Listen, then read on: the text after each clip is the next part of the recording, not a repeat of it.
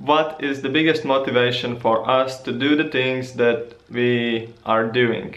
In my opinion, it is happiness. If we feel good, if we feel excited, if we feel interested, it all brings happiness, it gives us happiness, and happiness is really good feeling that we like to feel and it can be many different things. For example like like going traveling to see different things explore you feel happy excited. You eat different foods different dishes also flavorful and delicious. You feel happy inside.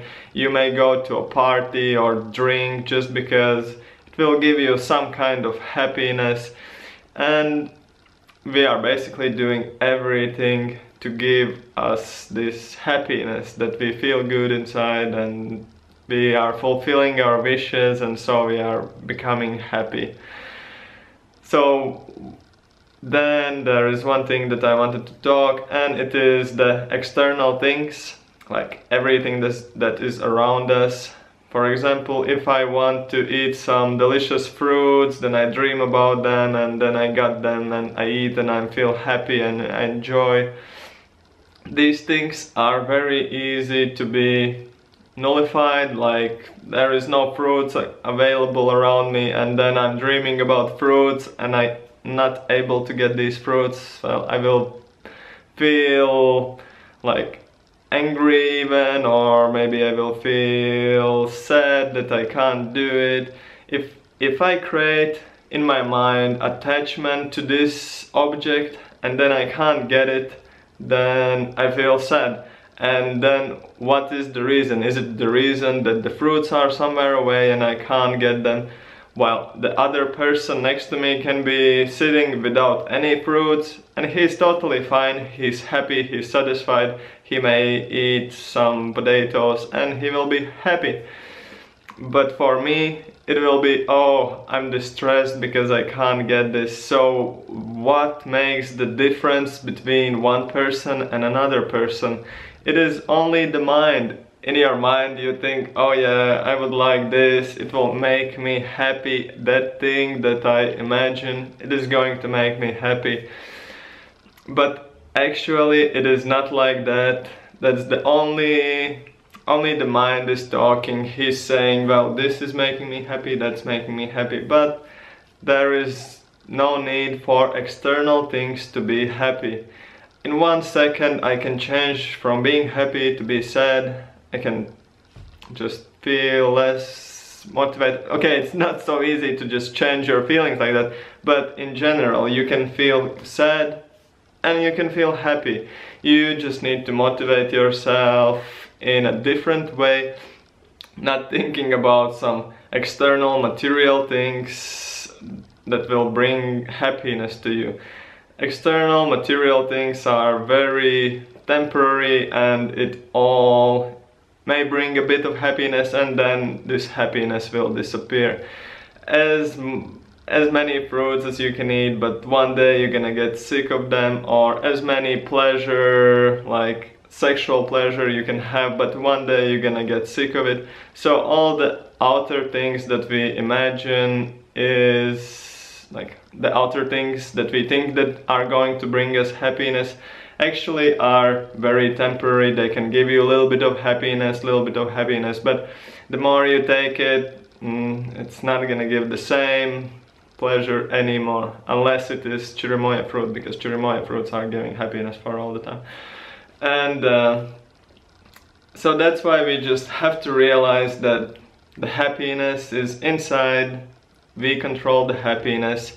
We should understand that the outer material things that we can get and not get that they may bring us happiness are really not a reason for happiness. You can be a person living in the poorest country and having few grains to share with your friends but still inside you may be much more happier than a rich person living in a in the best house with the everything that he can imagine. He may feel agitated, annoyed, irritated by everything and he will be just distressed and, and unhappy inside. or it can be the other way around as well but the thing is that the outside actually is not influencing how we feel. The mind is influencing how we feel. So we should only work with the mind to get the happiness. You don't need any external things. It is very good to have different things and we should put goals to get different things. And it's nothing bad like like every that's why there is this nature with many different plants and different uh, places and beautiful nature, beautiful different animals.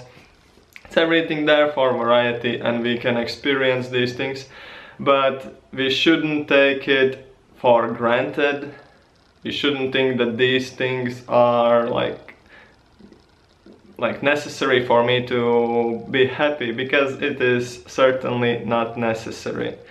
We can be happy in a dark cave in Himalayas, sitting alone without anything. You can be happy, totally happy and satisfied. So to feel happy, first of all, we should appreciate what we have, feel grateful for the things that we have. It may not be nothing, but we can just say, oh, thanks that I have so nice place to sleep and it's warm at night. So like those simple things are nice enough to say thanks for them and be happy about them that uh, we are having them and as well we can do something good for others give smiles to others and you will feel better inside. When you when you give a smile another person smiles you just feel better. So these things are very simple. Every, everyone can can practice these things like the gratitude for what you have